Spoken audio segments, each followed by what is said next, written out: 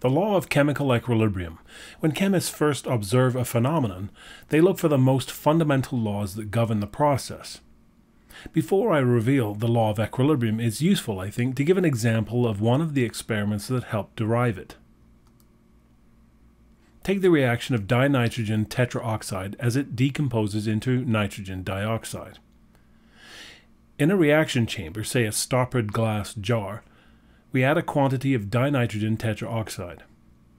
The gas is mostly colorless initially because we have hardly any product. The rate of the forward reaction is quite large. The reverse reaction is understandably non-existent until some product is formed. As the forward reaction proceeds, the concentration of the reactant decreases, thereby slowing down the rate of reaction. As the concentration of the product increases, the rate of the reverse reaction increases. Don't try to look for a difference between images C and D, they are the same, indicating that the forward reaction rate is now the same as the reverse reaction rate. Macroscopically, this is indicated by no further color change. In other words, the reaction has reached equilibrium. Graphically, the concentration of the dinitrogen tetraoxide decreases over time until the equilibrium is established. Likewise, the nitrogen dioxide increases over time until again equilibrium is established.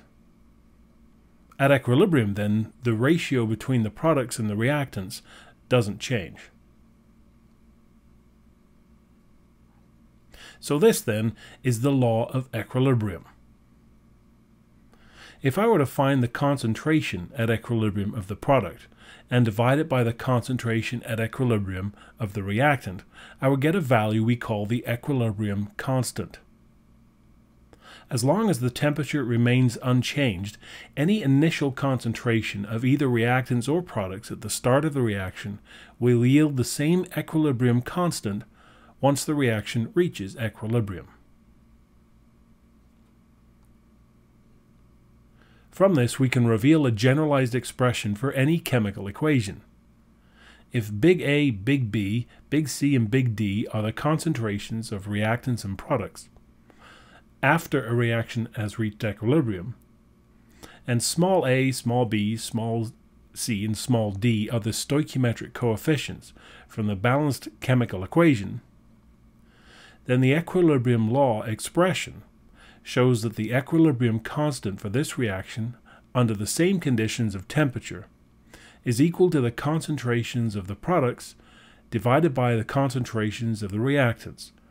Each concentration term is raised to the power of its stoichiometric coefficient and multiplied by the other terms. The subscripted C of the equilibrium constant refers to the fact that the concentrations of the reactants and products are molar concentrations and are measured in moles per liter.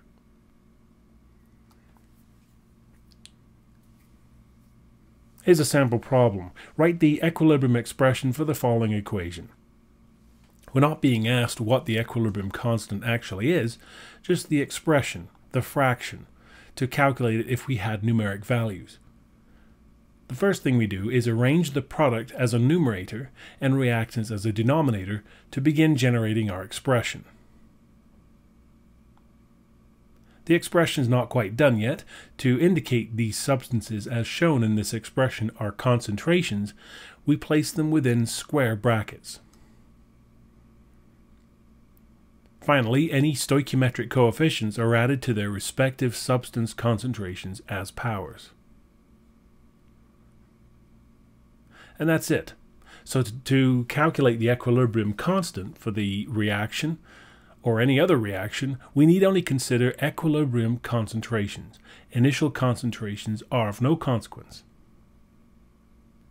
Heterogeneous reactions. The reactions at this point have all involved homogeneous equilibriums, where the phases of all the components of the chemical equation are either all gases or all aqueous. Because the theoretical volume of a gas molecule is zero, more gas particles added to a reaction vessel simply increase that gas particle's concentration without changing the volume of the container. Also, up to the point of saturation, an aqueous solution can theoretically have additional solute added to change the concentration without increasing the volume. These concentrations are altered as the system establishes equilibrium. But pure solids or pure liquids have inalterable concentrations.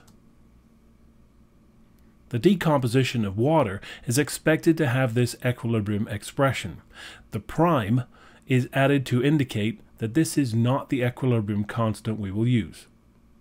The concentration of pure water does not change. It's about 55.5 moles per liter under standard conditions.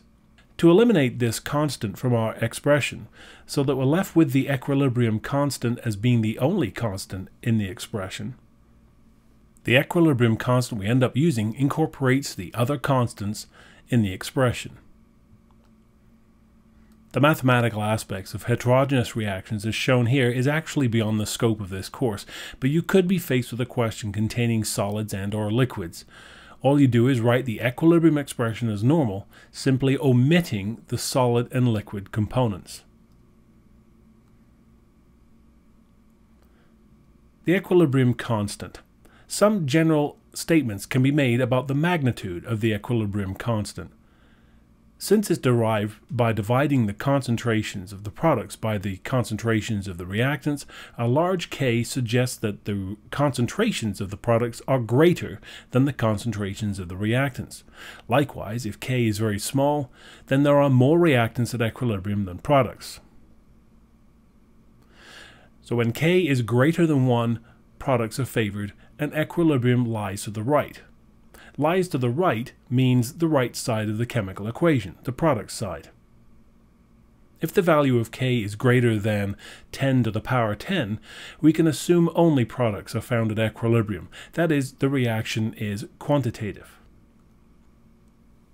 When K is less than 1, reactants are favored and equilibrium lies to the left, and to the left means the reactant side of the equation. When K is around about equal to 1, then there are approximately equal concentrations of reactants and products.